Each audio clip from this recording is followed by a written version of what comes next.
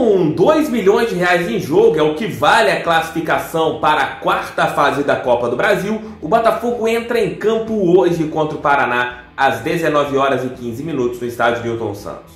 O Paraná que conseguiu uma classificação heróica, mas faz uma, não tem uma temporada muito interessante, né? Está bem abaixo ali no Campeonato Paranaense e é um time muito irregular. É um jogo que o Botafogo teoricamente tem que ter cuidado. E é a primeira partida do Glorioso em sua casa nesta Copa do Brasil. E tem mais, o estádio cheio. Talvez não esteja lotado, como era esperado caso o Honda estreasse. Mas terá um bom público no estádio Milton Santos para a peleja entre Botafogo e Paraná Clube. E o Iaiá? O Iaiá, só para a gente abrir e fechar o parênteses do que está acontecendo. Botafogo está conversando com o o Botafogo está mantendo as conversas com o Iaiá, mas está naquele negócio. O cara ficou com, com vazamento do vídeo e o Botafogo conversa com ele diariamente. Não tem nenhuma novidade. Quando tiver novidade, vou trazer aqui no canal do técnico. O resultado positivo ou negativo pode acontecer a qualquer momento, em qualquer dia.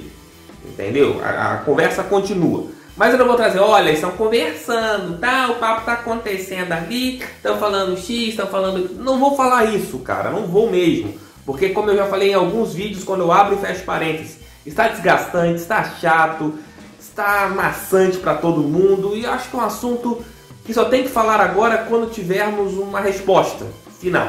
Ou vem ou não vem. Entendeu? Ah, tá perto, tá longe. Não sei. Não sei. Não vou falar também. Para não te deixar empolgado e também te deixar para baixo. Não vou. Não vou. Só vou falar aqui no meu canal quando realmente fechar ou não é realmente, estou colocando aqui, coloquei no título para todo mundo que curte meu trabalho e vai vir aqui para ver esse vídeo, muito por causa desse título, para explicar isso.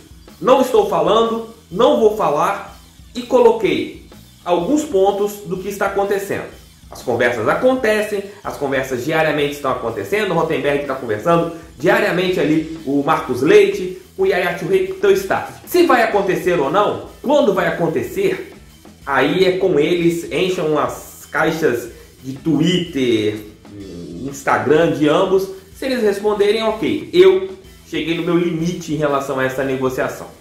O final pode ser a qualquer momento, positivo ou negativo, como falei anteriormente. Então é isso. Já peço que você deixe seu like, inscreva-se no canal e compartilhe esse vídeo no seu grupo do WhatsApp favorito. É muito importante que mais pessoas conheçam o meu canal. Estamos aí indo para 88 mil inscritos. Conto com vocês, galera. Me ajudem aí, não custa nada. Uma inscrição, uma inscrição é tranquila. Uma inscrição é igual um copo d'água, não vale nada, é de graça, cara, é de graça. Pô, você vê meu vídeo não é inscrito, você está fazendo uma maldade comigo. Então, só inscrever-se aqui no canal. Aproveitem que ainda o YouTube não cobra por inscrição. Tamo junto.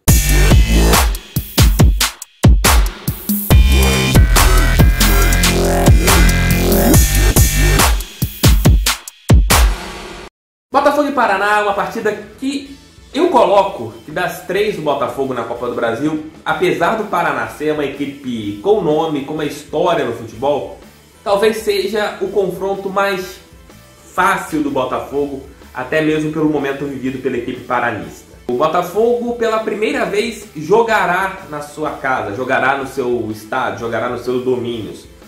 Ainda isso não havia acontecido na competição nacional. Na primeira fase, o Botafogo pegou o Caxias, que foi o campeão no primeiro turno do Campeonato Gaúcho, para vocês terem uma ideia do confronto, como foi bem complicado. E na segunda fase, pegou a equipe do Náutico, que faz um bom campeonato pernambucano e também fora de casa, nos aflitos, jogo bem complicado. Foram duas fases pegadas para o Botafogo, em que a equipe classificou-se na primeira fase com um empate e na segunda fase nos pênaltis, também empatando no tempo normal um jogo que parecia que a vaca ia pro brejo e nós achamos um gol ali com o Bruno Nazário. No jogo de hoje, o Botafogo precisa de fazer o placar. A expectativa para o estádio Milton Santos é de um público entre 25 e 30 mil pessoas. Com o Honda, eu acreditaria que chegasse aos 40 mil torcedores botafoguenses, mas essa passa a ser expectativa para o jogo de domingo, em que o Botafogo enfrentará a equipe do Bangu em seus domínios, na sua casa, no seu estádio. Hoje o apoio é fundamental e hoje o Botafogo tem que vencer e vencer bem. Levar um placar de pelo menos 2 a 0, 3 a 1, 4 a 2, já que não temos mais o critério de gols fora. O Botafogo tem que abrir uma boa diferença para o jogo lá da semana que vem, o jogo lá do Paraná. A previsão é de que o Botafogo entre em campo com Gatito, Barrandegui, já que Carly não atuará e com isso Marcelo voltará a atuar pelo lado direito da defesa. Ao seu lado, Canu ou Juan Renato, a tendência é que seja Canu. E na lateral esquerda, o ponto fraco da equipe, na minha opinião, nessa temporada, o Danilo Barcelos. Eu iria de Guilherme Santos. Acho um lateral, apesar de tudo, mais lateral do que o Danilo Barcelos. No meio-campo, aquele 4-2-3-1 que o Paulo Tuori tem feito na parte ofensiva. Caio Alexandre, que tomou a vaga do Cícero, Alex Santana. Nas extremas, a tendência é que o Luiz Fernando comece por uma extrema, Luiz Henrique por outra. Centralizado, o camisa 10, Bruno Nazário. E à frente, Pedro Raul. Defendendo, vocês sabem que o Botafogo sempre recompõe com duas linhas de quatro e os dois atacantes, eh, no caso, o Pedro Raul e o Bruno Nazário recompondo pelo meio ali. O primeiro tempo contra o Flamengo deu uma mostra do que o Paulo Autuori, que pegou terra arrasada, está começando a dar uma cara para o time. O time está começando a ter um padrão de jogo. O time está começando a mostrar alguma coisa. A esperança de que hoje seja uma partida melhor do que foi contra o Flamengo é muito grande. E a expectativa é essa. A torcida é essa. A esperança é essa. Que o Botafogo consiga desempenho. A parte física continua sendo um problema. A troca do profissional da área, que é o Felipe Capella, ainda está lá em foco. E amigo, tem que acontecer. Tem que acontecer a troca do Felipe Capela, até mesmo para dar uma chacoalhada em todos os profissionais do Botafogo. Porque quando um sai, todo mundo coloca uma pulguinha atrás da orelha.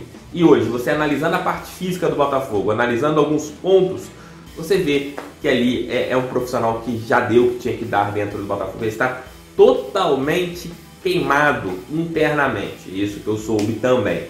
Muita gente quer a saída do Felipe Capela o Botafogo basta mandá-lo embora, como eu trouxe ontem no giro de notícias, isso está sendo tratado ali como algo bem concreto. Ainda mais tomara a Deus que não aconteça é, nenhum revés hoje no estádio Milton Santos.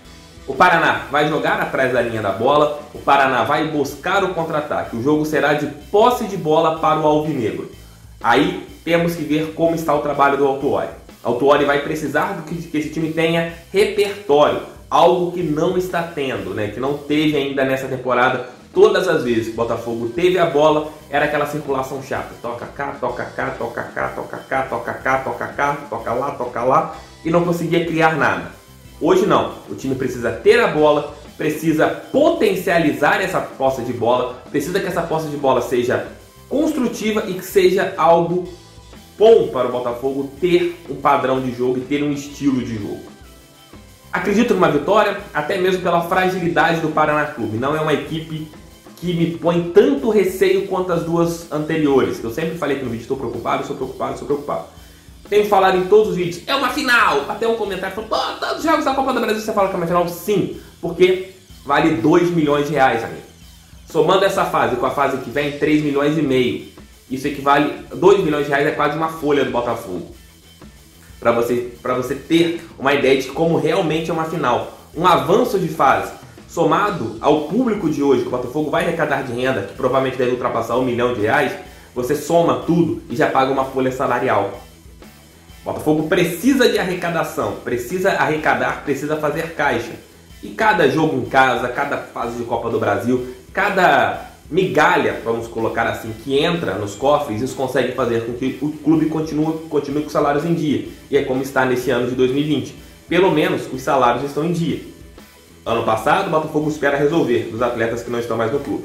Mas neste momento, está tudo em dia. O jogo terá transmissão pelo Sport TV 2.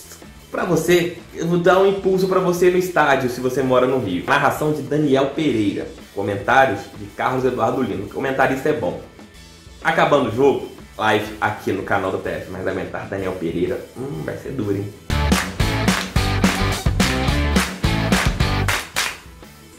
Espero que vocês tenham curtido o almoço com o TF de hoje. Se vocês curtiram, deixa o like, inscreva-se no canal e compartilhe esse vídeo no seu grupo do WhatsApp favorito. É muito importante que as pessoas conheçam o meu canal, o meu trabalho. Repito, não falo mais sobre Yaya Churrei aqui no canal. Nem essas pílulas que eu tenho feito nos vídeos. Ah, Yaya, tá sendo. Não, não vou falar mais. Coloquei no título uma coisa que eu não queria fazer, eu queria fazer mesmo, mas eu resolvi colocar pra galera ficar atenta. Ah, vou entrar lá pra ver o que tá acontecendo. É, é, tá aqui explicado no começo do vídeo. Espero que eu tenha é, tirado um pouco da sua atenção. Não vou falar o Rochefe, o conteúdo do canal Terra Monta, um vídeo aqui, abraço, com Deus e vamos fogão, acabando o jogo live aqui no canal do TF.